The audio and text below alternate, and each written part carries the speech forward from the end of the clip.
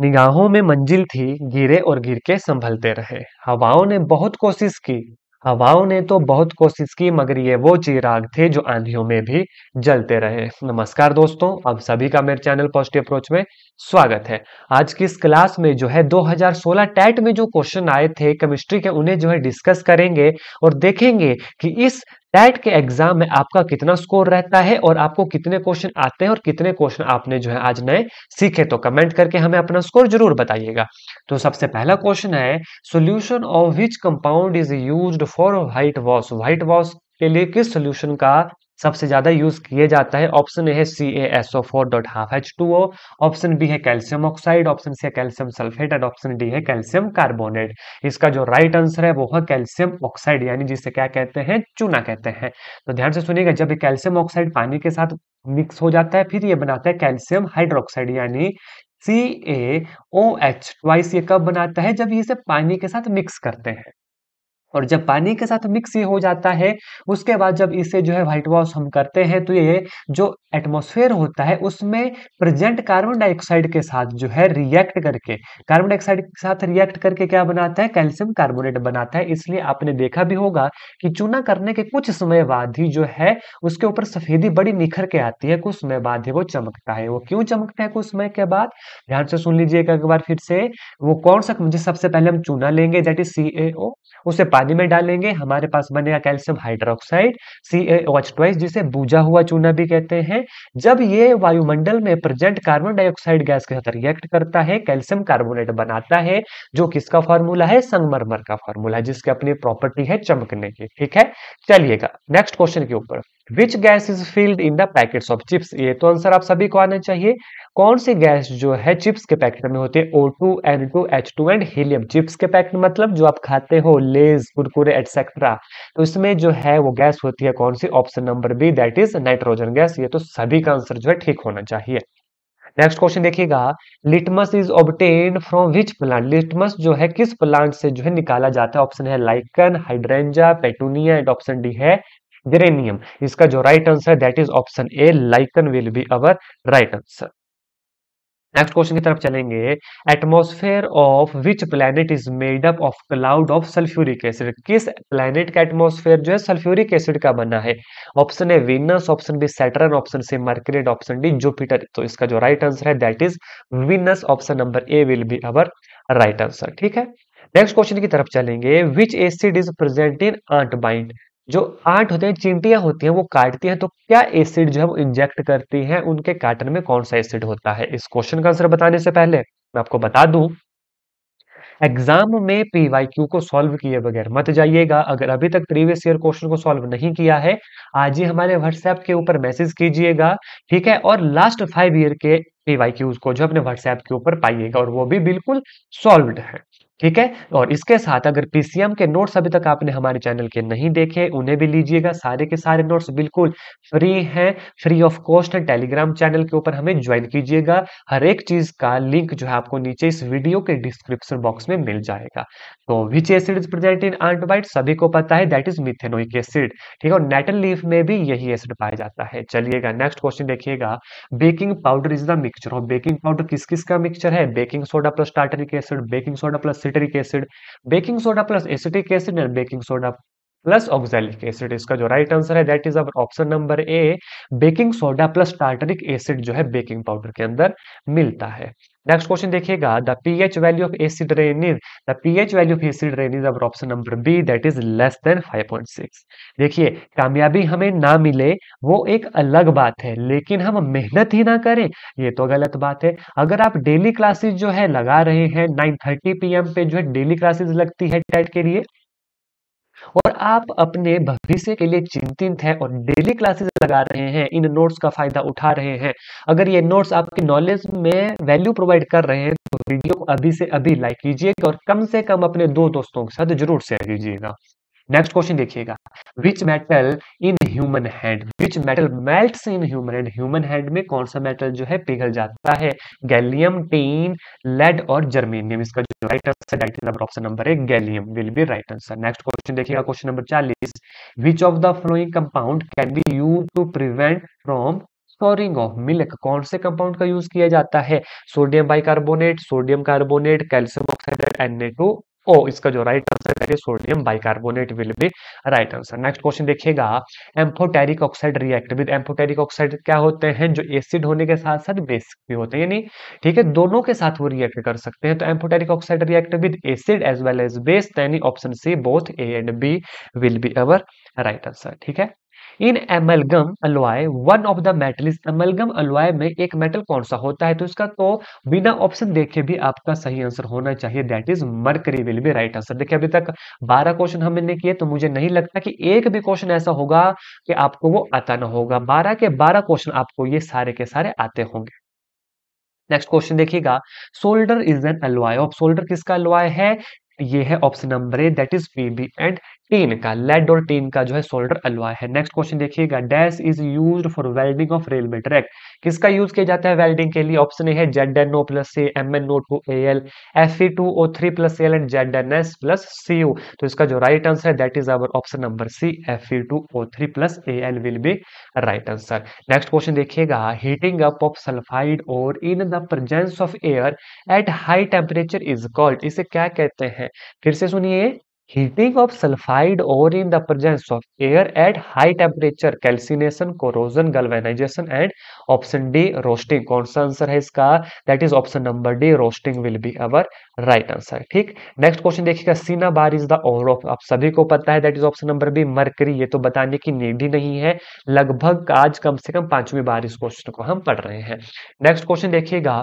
For making ornament of gold it is mixed with gold के जब आभूषण वगैरह बनाए जाते हैं, उन्हें किसके साथ मिक्स किया जाता है? सिल्वर और जिंक जिंक और कॉपर कॉपर और सिल्वर और ऑल ऑफ़ दिस तो इसका जो right answer that is copper और silver will be our right answer देखिए, ये क्वेश्चन तो बहुत ही ज़्यादा आसान है, इतना आपको भी पता है। इससे जो है लेवल आपका थोड़ा सा ज़्यादा रहेगा टैट का।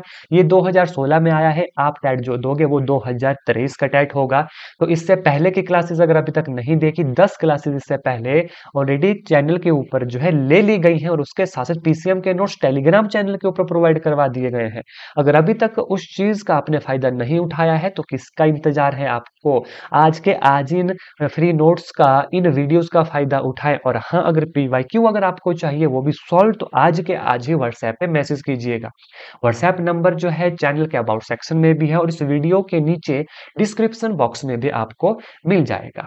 चलिए नेक्स्ट क्वेश्चन देखिए oxides of non metal are non metal के जो ऑक्साइड्स होते हैं, वो कैसे होते हैं? Option A acidic option B basic option C neutral इसका जो राइट right आंसर है, वो है एसिडिक और न्यूट्रल हमारे पास। दैट मीन की ऑप्शन नंबर डी ए और C will be right answer देखिए, यूँ ज़मीन पे बैठकर आसमान को क्यों देखता है? यूँ ज़मीन पे बैठकर आसमान को क्यों देखता है? पंख खोल। मेरे दोस्त, पंख खोल, ये जमाना सिर्फ़ उड़ान देखता है। नेक्स्ट क्वेश्चन देखिएगा 49 earthy impurities of sand and clay associated with ore are called earthy impurity जो होती हैं ऑफ़ सैंड और क्ले की, एसोसिएटेड विद और उन्हें क्या कहते हैं? Flux gangue slag and all of this इसका जो राइट आंसर है that is our option number B gangue जो है उसे कहा जाता है। ठीक है? नेक्स्ट क्वेश्चन की तरफ़ चलेंगे। एक्वारिजिया। देखिए, ये क्वेश्चन जो है बार बार पूछा जाता है एग्ज़ाम में। Aqua regia is the fresh mixture of concentrated hydrochloric acid ठीक है एंड कंसंट्रेटेड नाइट्रिक एसिड ये भी कई बार पूछा जाता है कि एक्वा रिजेजर किस किस का मिक्सचर है तो एच का है और कंसंट्रेटेड नाइट्रिक एसिड यानी एच एन ओ थ्री का है। किस रेसो में होते हैं? एक इज़ टू तीन तीन इज़ टू एक, चार इज़ टू एक और एक इज़ टू चार, इसका जो राइट आंसर है वो है थ्री इज़ टू वन याद रखिएगा, कई बार कंफ्यूजन करने के लिए नाइट्रिक एसिड भी पहले दिया जाता है। तो हाइड्रोलिक जो एसिड हाइड्रोक्लोरिक वो है थ्री और कंसंट्रेटेड नाइट्रिक एसिड होता है वन अगर ये रिवर्स में लिखा हो then one is to three जो है इसका राइट आंसर होगा तो इसे ध्यान से देख लीजिएगा। ठीक है? नेक्स्ट क्वेश्चन की तरफ़ चलेंगे। Question number 51 dash is a non metal which is liquid कौन सा नॉन मेटल है जो लिक्विड है? हिंट आपको दे देता हूँ। ठीक है? वो ऐसा नॉन मेटल है जो आपके हाथ पे रखने पे पिघल जाएगा। तो ये आपके लिए होमवर्क रहा। आपने कमेंट करके ज़रूर बताना है। भले ही आपको ये क्वेश्चन आता है, फिर भी कमेंट कीजिएगा। नहीं आता है गूगल सर्च कीजिएगा और आंसर जो है इसका कीजिएगा। बाकी फिर भी हिंट मैंने आपको दे दी। नेक्स्ट क्वेश्चन देखिएगा। Main component of C N G compressed natural gas का मेन कंपोनेंट क्या है? Ethane propane methane and butane इसका जो right answer that is option number C methane और जो हमारे घरों में एलपीजी आती है लिक्विड पेट्रोलियम मीडियम गैस ठीक है उसमें जो है हमारा मेन कॉन्स्टिट्यूएंट क्या होता है प्रोपेन और ब्यूटेन याद रखिएगा Next question is question number 53. In electrolytic refining, impure metal is made. In electrolytic refining, impure metal is made anode, cathode solution and all of the above. तो इसका जो right answer है that is our option number A. Anode will be right answer. Next question देखिएगा 54 vinegar is dash percent of aqueous solution of acetic acid कितना percent है aqueous solution of acetic acid का? इसका जो right right answer है that is our option number C three to four percent next question देखिएगा. Molecules of soap are dash and dash salt of the long chain carboxylic acid जो molecules of soap है, वो किस किस के salt है तो आपको इसका जो राइट आंसर है सोडियम एंड पोटेशियम के, ठीक है? Respiration is a dash process endothermic exothermic combination endothermic होती है कौन सी प्रोसेस जिसमें एनर्जी लगती है। एक्सोथर्मिक होती है, जिसमें एनर्जी निकलती है। तो रेस्पायरेशन कौन सा प्रोसेस है हमारा? रेस्पायरेशन जो है, एक एक्सोथर्मिक प्रोसेस है। हमेशा याद रखिएगा। नेक्स्ट क्वेश्चन देखिएगा 57 chemical formula of slaked lime slaked lime को जो देखिए, बूझा हुआ चूना भी कहते हैं। देखिए सी है चूना, यानी calcium oxide C O H twice जब पानी के साथ मिल गया, ठीक है, ऑप्शन बी बना जिसे क्या कहते हैं स्लेक्ड लाइम और इसके बाद जब कार्बन डाइऑक्साइड के साथ रिएक्ट कर कैल्शियम कार्बोनेट वो बनाता है देन ऑप्शन नंबर सी की तरफ़ चलेंगे। तो केमिकल फॉर्मूला किसका पूछा है? स्लेक्ड लाइम पूछा है। नेक्स्ट क्वेश्चन देखिएगा।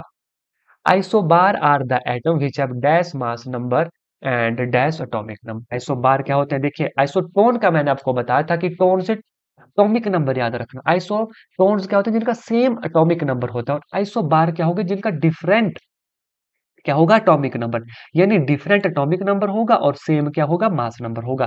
तो देखिए option number B same mass number और different atomic number will be our right answer next question देखिएगा। सेकंड लास्ट क्वेश्चन है। Electron and proton were discovered by dash and dash respectively इसका answer बताने से पहले लास्ट बार जो है आज की इस क्लास में आपको जानकारी दे देना चाहता हूँ। अगर आप इस चैनल पर नए हैं सबसे पहले चैनल को सब्सक्राइब कीजिएगा, वीडियो को लाइक कीजिएगा और बेल आइकन को अभी के अभी प्रेस कीजिएगा ताकि हर एक वीडियो की नोटिफिकेशन आपको डेली नाइन थर्टी के ऊपर रिमाइंडर के रूप में मिलती रहे। ठीक, अब ध्यान से सुनिए। अगर आपको लास्ट फाइव ईयर के प्रीवियस ईयर क्वेश्चन चाहिए सॉल्व आज ही आज आज के, आज, अभी के, अभी आप जो है हमें व्हाट्सएप पर मैसेज कीजिए। व्हाट्सएप हमारे अबाउट सेक्शन में दिया गया है। इस वीडियो के डिस्क्रिप्शन बॉक्स में आपको व्हाट्सएप नंबर मिल जाएगा।